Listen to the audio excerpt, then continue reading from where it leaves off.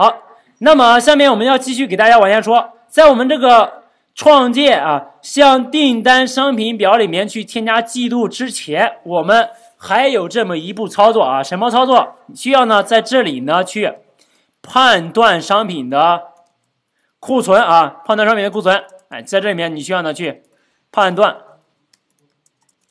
需要啊，哎去判断商品的库存。哎，在这里面为什么要判断商品的库存？我们要给大家说一下啊。你比如说现在啊，我们举一个例子的话，假如说现在某一个商品，那么它假如说啊，它的库存只有两件，对吧？你往这里面加了两个，然后另一个另外一个用户呢，他也往他的购物车里面呢加了两个啊，加了两个。然后呢，你你俩点击提交订单的时候呢，他比你他比你先去，他已经把那两个买了，但是你购物车里面这个数量呢还是二。你点击提交订单的时候，这边呢实际的库存呢已经变为了零，所以呢你在这里面加之前呢，你需要呢进行库存的一个判断啊，就是我们需要在这边去往里面加信息之前，我需要判断这个 count 它是否大于这个商品的。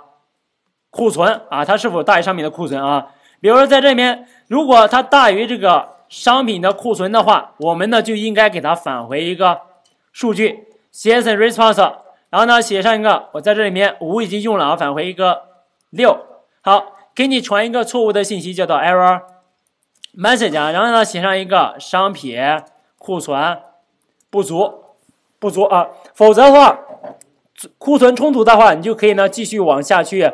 执行啊，那么你像这一步的话，我们可以在这里面呢，哎，去给大家做一个演示啊，去给大家做一个演示啊。你比如说，我在这里面呢，为了演示这个东西，我可以呢在这里面呢给它去休眠一下啊，给它去休眠一下。哎，比如说你在这里面写上一个啊，休眠十秒钟啊，import time，然后呢在这里面写上一个 time 点 sleep，休眠十秒钟啊，休眠十秒钟。那么这样的话。然后呢，我们在这里面找一个商品啊，找一个商品。那么这个商品找谁呢？看一下啊，点击用户中心，我们找一下它啊，找一下它。那么它的这个商品呢，我添加一键加入到我的这个购物车。好，然后呢，去我的购物车，去我的购物车之后呢，我在这里面我需要呢去买它，对吧？那点击去结算啊。那么我们在这里面一点击提交订单的时候呢，它就会执行我们的这个函数啊。在执行到这个位置的时候。它呢就会休眠十秒，对吧？然后你注意啊，在这个十秒的，在这个十秒的过程中，我通过 SQL 语句呢，把这个库存呢给它变掉啊。那么十秒之后，它就应该给你报一个商品的库存不足啊。我们模拟一下这个过程啊，模拟一下这个过程啊。所以呢，在这边找到我们的这个数据库啊，找到我们这个数据库，那么切换一下数据库啊，use daily fresh，然后呢写上一个 bj 幺八，好，这里面呢。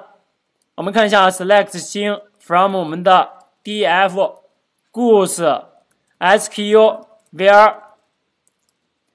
sku 的 id 啊，这个鸡腿的这个 id 呢是十七啊，十七。哎，找到这里面啊，查一下，这里面呢它的这个鸡腿的库存呢就是十七，所以呢我在这里面我要把它的库存给它改掉啊，就是 update，然后呢写上我们的这个 update 啊，写上一个哎我们的。Df old goose sq set 这个 stock 等于零，哎，比如说等于零啊，他要买一个，我给它变成零，where，然后呢，写上这个 id 呢等于十七。好，这个语句呢，我先写好，我先不执行啊，我先点，我先去点这个提交订单，然后呢，我再回过头来去改这个内容啊，因为它这边它这边呢会去休眠十秒，所以你一点击的时候，本来过来的时候啊，你注意啊。我们在这里面看一下啊，我在这里面啊，这个你需要呢去在这边啊，我们就直接在这边啊，在这边去，在这边啊，我们在这边 sleep 啊，那么他一过来的时候，哎，他会先出去查询之前，他是不是会先会去休眠十秒，对吧？在这十秒过程中，那我把这个库存呢给它改成这个零，那么他一查出来 SQ 的库存是不是就是零？就零，他就会报一个库存不足。好，然后呢看一下啊，把这个东西拿过来之后，我在这里面呢去点击这个提交。订单啊，点击提交订单，然后呢，我在这边呢把它改掉。好，这边已经改掉了啊。然后我们看一下，过十秒之后，哎，这边弹什么消息啊？好，这里面是不是出来一个商品库存不足，对吧？哎，这里面就是我们要加这个商品库存不足的判断啊。但是，一旦出了这个商品库足的时候，不足的时候，我们这个订单有没有成功？对吧？没有成功啊。但是没有成功的话，以我们这段代码来看，你去看一下我们的表里面有没有信息啊。首先查一下这个表啊，select 星 from 我们的 DFO 的 info 啊，DFO 的 info。那么在这里面呢，你会发现它里面呢加了一条信息，对吧？加的这个时候呢，这个 total count 和 total price 呢还是我们的一个初始值，对吧？都是零。然后呢，transit price 呢等于十的。然后你再去看一下其他的 old goods 里面，这个表里面呢，它呢就没有这个信息，对吧？这个订单本身是下失败的，但是这个表里面呢，它给它插入了一条信息，所以呢，这里面呢就出现一种情况啊，我们这个订单呢这个过程呢，你失败的话，我们其实呢这一部分呢也不需要它进行一个插入啊，因为订单已经失败了啊，所以它不需要去有，但是它有了啊。那么这一步呢，你要把它。解决这个问题，哎，就需要呢用到我们给大家说的这个 MySQL 的事务啊。MySQL 的事务呢，就是一组 SQL 操作，要么都成功，要么都失败啊。那你像我们这个逻辑，对吧？这个创建订单的这个业务逻辑啊，这些数据库的操作，它都是一系列的过程啊，它应该放在一个事务里面，要么成功都成功，要么失败都失败啊。OK，这是它。然后呢，下面。关于这个事务呢，我们我们要给大家去看一下我们 MySQL 事务的概念啊。首先，什么是事务？一组 MySQL 语句，要么执行，要么全部不执行啊。需要么执行，要么全部不执行。哎，这就是 MySQL 里面的事务啊。那么，关于这个事务，它有什么特点？首先，第一个特点，原子性啊。一组事务，那么要么成功，要么。撤回，哎，就是都不都不执行啊，要么成功，要么撤回。那么第二个特点，稳定性啊，如果有非法数据的话，事务撤回，哎，就是你执行你在事务里面执行一些语句的时候，如果呢有非法的数据，哎，比如说这个外界约束啊，它执行失败了，这个事务呢也会被撤回。好，第三个特点，事务的一个隔离性，事务独立运行，哎。一个事物处理后的结果，如果影响了其他的事物，那么其他事物呢也会被撤回啊，也会被撤回。这是它隔离性。再往下，第四点，可靠性。软硬件崩溃之后，这个数据库的引擎表呢会利用这个日志文件呢进行一个重构啊，进行一个重构。那么这一部分的话，就是它的可靠性。其实呢和这个高速度，它俩呢是不能间谍的啊，不能兼得的。哎，这个呢，其实所谓的可靠性呢，就是你执行事务的时候，它会把这个事务呢保存到日志里面去。你如果软硬件崩溃的话，在你恢复之后呢，它会用这个日志里面的记录呢，对它进行一个哎重新的执行啊，就保证它的一个可靠性啊。那么这一部分的话，是我们事务的四个特点：原子性、稳定性、隔离性，还有这个可靠性啊。那么你要。知道这个特点，然后下面我们要给大家说的就是 MySQL 里面事务的控制语句啊有哪些？首先，你如果需要呢去把一些语句呢放在一个事物里面的时候，你需要呢自己呢去开启一个事物啊。这个开启事物怎么开启呢？使用这个 begin 或者是这个 start transaction 啊，它就会开启一个事物。你开启一个事物之后啊，在在这个笔跟后面的语句都在这个事物里面。那么事物最终执行的结果呢，有两个啊，一个呢叫做 commit，就是事物的一个提交。提交事物之后，你事物里面的对数据库的所有修改呢，都都会变成一个永久性的啊。那么事物的处理呢，还还有一种操作呢，叫做 rollback 啊。rollback 的话叫做。回滚，你一回滚的话，它会撤销你事务之前进行的所有修改啊。这是事务里面的哎两个处理，要么提交，要么回滚。然后呢，下面你知道它之后，我们给大家演示一下这个过程啊。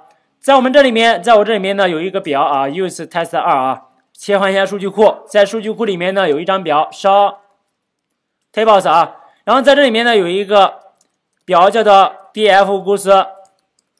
太子啊，叫它。那么现在它里面有一条数据，对吧？我现在我们如果要在这里面使用事物的话，你注意，你你呢就可以呢去开自己呢去开启一个事物，哎，叫做 begin。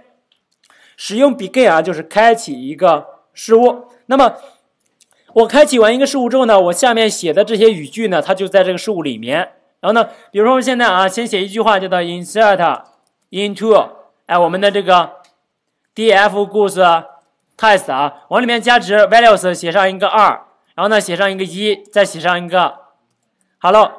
好，那么这里面呢，我们现在在这个事物里面，我就执行那条语句，对吧？执行一条语句之后，你看一下，我去查一下，select 星 from 我们的 df 故事 test 啊。好，哎，你看一下这里面，你是不是可以看到这个内容，对吧？但是你注意啊，这个内容并不代表它已经，哎，永久性的存在了啊。事物这个东西呢，我们说这个语句呢是在事物里面。那么事物最终的执行结果呢，包括两个，一个呢是提交，一个是回滚。如果你一回滚的话，这条语句的结果呢，它就没了啊。那么你，我们给大家先回滚一下，叫做 roll back，好，回车，然后呢，你再去查，你查一下，看一下还有没有，对吧？这就事物的回滚啊，因为这个语句是在我的事物里面，我一回滚执行的这些语句的结果呢，就会被撤销啊，就被撤销啊。那么对应到这个 roll back 呢，就有一个 commit 啊，还是开启一个事物 begin，然后呢，还是呢执行这个语句，对吧？执行完这个语句啊，执行完之后，对吧？我想让它永久性的保存了，那么怎么做？提交 commit 啊，commit，OK。那么，然后呢，你在这里面再去查一下，哎，看一下是不是它就存在了，对吧？这就是我们事物啊，它的一个处理，其实很简单啊。开启一个事物，开启完事物之后呢，你在事物里面你可以执行很多 circle 语句，这些语句呢都在一个事物里面。那么事物最终的结果呢，要么是进行一个提交，要么是进行一个回归啊。哎，这是它的基本操作。然后呢，你在事物里面呢，你还可以呢创建这个事物的保存点啊。你注意啊，还可以呢创建一个保存点。我们在回滚的时候呢，我们可以呢不把整个事物回滚，只是呢回滚到某一个保存点啊，叫做标记点。那么这个什么意思呢？首先啊，保存点的命令我们先给大家看一下啊，这个。保设置保存点的命令叫做 save point 啊，设置保存点，然后后面呢起一个名字给这个保存点。好，如果是回滚到某个保存点呢，使用的命令呢就是 roll back to 啊，哎，写上保存点的名字啊。那么这个呢，我们给大家去看一下啊，再次的去开启一个事物，写上一个 begin 啊，写完 begin 之后呢，在这事物一开始的时候，我想设置一个保存点怎么做啊？save point 写上个 s 一，哎，这里我我就创建了一个保存点，叫做 s。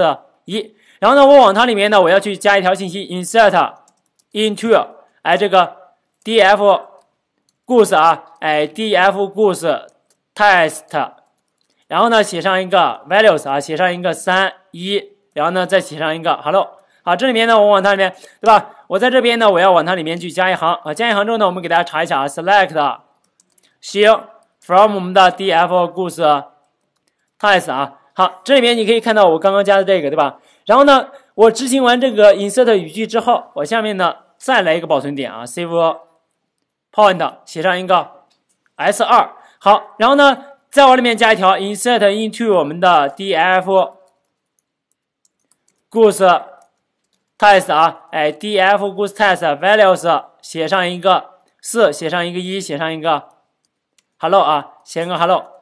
好。OK，这里面呢，select 行 from 我们的 df goose test 啊，好，那么这里面你可以看到我们刚刚对吧，执行了两个操作啊，在我们执行这一句插入之前有个保存点，在我们执行这一句插入之前呢，也有一个保存点啊。下面呢，我想撤销这个操作，但是呢，我不想完全撤销，我只想把我最后执行的这一个呢，对它进行一个撤销。那么怎么做呢？在执行之前，我们设置了一个保存点。我们回滚的时候呢，就可以呢只回滚到这样一个保存点。那么前面的这个呢就没有被撤销，而是它之后的被撤销了啊。那么怎么做啊？其实呢就是 roll back 去写上我们的 s 二。好，我执行完这个之后，对吧？你去查一下啊，select 星 from 我们的 df goods test 啊，哎，你去查一下，哎，是不是就没了？对吧？哎，它就没了啊，因为我回滚，我可以呢回滚到某一个每一个保存点，这里面回滚不是回滚整个事物啊，而是回滚到某一个保存点，在保存点之后的操作呢，它就撤销了啊。那么注意啊，你到这里的话，我们现在整个事务还没有结束，因为你还没有进行提交或者是回滚。那么如果呢，你想让这条语句也不生效，我就直接是 rollback 啊。我想让它永久生效，直接就写上一个 commit 啊，commit，OK。好，commit 啊，那么这里面它就永久生效了。查一下，哎，它的这条数据呢就有了啊。OK，这里面呢是我们给大家说的事物它的一个基本操作啊。那你记住啊，一旦你开启一个事物之后，一个事物什么时候结束，要么是最后这个 commit，要么是进行一个 rollback 啊，才标记着一个事物呢它是结束了啊。然后呢，在事物里面，你可以呢去设置这样一个事物的保存点。哎，设置事物的保存点。那么回滚的时候呢，我也可以直回滚到某一个保存点啊。这是回滚到某一个保存点。那么删除一个保存点怎么做呢？release save point 呢，写上一个保存点的名字啊，就可以呢删除某一个保存点啊。那么这一部分的话，就是我们的 MySQL 的事物的控制语句啊。控制语句我们给大家说了一下啊。